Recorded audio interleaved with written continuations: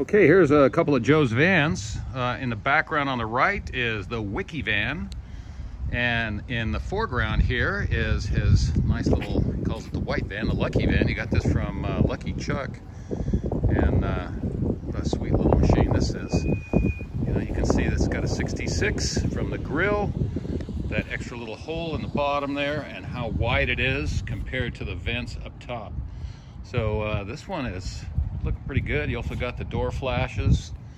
And give you a quick little tour of this. Yeah, a little bit of storage going on here. He's got all kinds of goodies.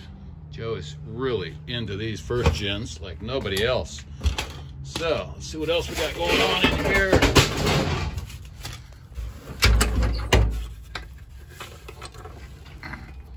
Yeah, six cylinder. Looks like a rebuilt Carter YF.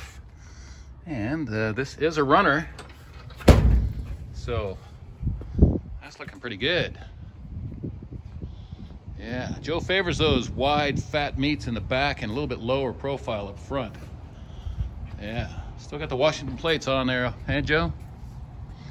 You see this one had the backup lights, reverse lights, this one, yeah. So, yeah, it's a sweet little machine. Take a look at the other one.